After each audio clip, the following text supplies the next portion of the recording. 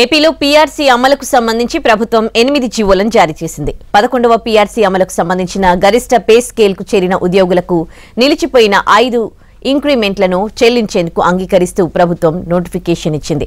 రెండు వేల పంతొమ్మిది జూలై నుంచి రెండు వేల ఇరవై మార్చి వరకు తొమ్మిది నెలల పాటు చెల్లించిన మధ్యంతర భృతి రికవరీని నిలిపివేస్తూ ప్రభుత్వం ఉత్తర్వులు జారీ చేసింది.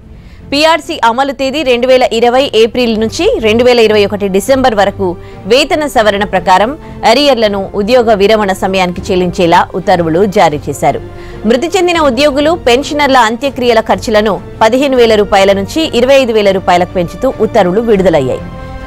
జీవోల్లో పీఆర్సీ ఏరియర్స్ దశల వారీగా కాకుండా రిటైర్మెంట్ అప్పుడు విడుదల చేస్తామని చెప్పారని దాన్ని తాము వ్యతిరేకిస్తున్నట్లు ఉద్యోగ సంఘాల నేతలు తెలిపారు.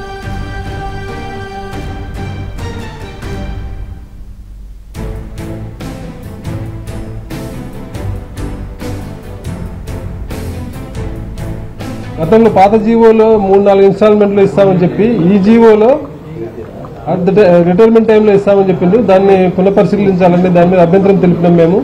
మిగతా జీవో జీవోలన్నీ కూడా మంత్రుల కమిటీలో ఏదైతే మాకు హామీ ఇచ్చిందో అది ఆ ప్రకారమే జరిగినాయి. అందుకు ప్రభుత్వానికి కృతజ్ఞత తెలియజేస్తున్నాం.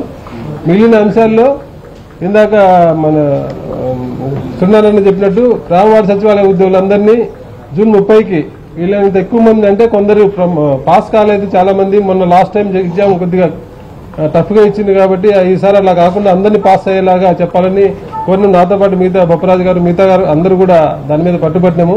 రిటైర్మెంట్ అప్పుడు ఆ ఎరియర్స్ ఇవ్వమని అనేసి చెప్పారు. అలాగనే డిఏల మీద కూడా ఒక క్లారిటీ ఇవ్వనటువంటి పరిస్థితి ఉంది. వాటి మీద కూడా వెంటనే క్లారిటీ ఇవ్వాలని కూడా చెప్పడం జరిగింది. అలాగనే ఏదైతే పబ్లిక్ సెక్టార్ ఉద్యోగులకి కూడా మాతో పాటు జీవో ఇవ్వడం జరిగింది. అలాగనే పబ్లిక్ సెక్టార్లో రిటైర్డ్ అవుతున్నటువంటి మాతో పాటుగా అరవై రెండు సంవత్సరాల వయసు పెంచాలని మరి దానికి కూడా జీవోని వెంటనే కూడా వాళ్ళకు కూడా ఎఫెక్ట్ చేయాలని గురుకులాలు అలాగే పబ్లిక్ సెక్టార్కి సంబంధించినటువంటి వాళ్ళ యొక్క ఫైల్ వెంటనే చర్య తీసుకోవాలని కూడా